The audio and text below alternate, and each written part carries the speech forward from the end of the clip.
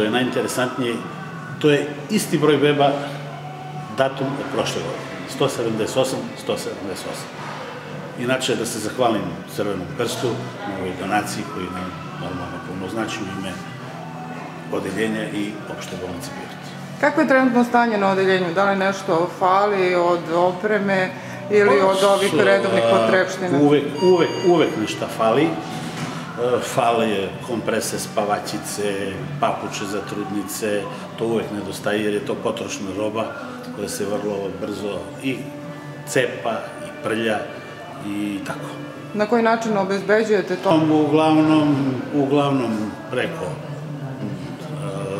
zvanično preko ministarstva. Da, da. A, ide i preko donacije i preko normalno lokalna samouprava donira. Znači, sve opcije su u igri.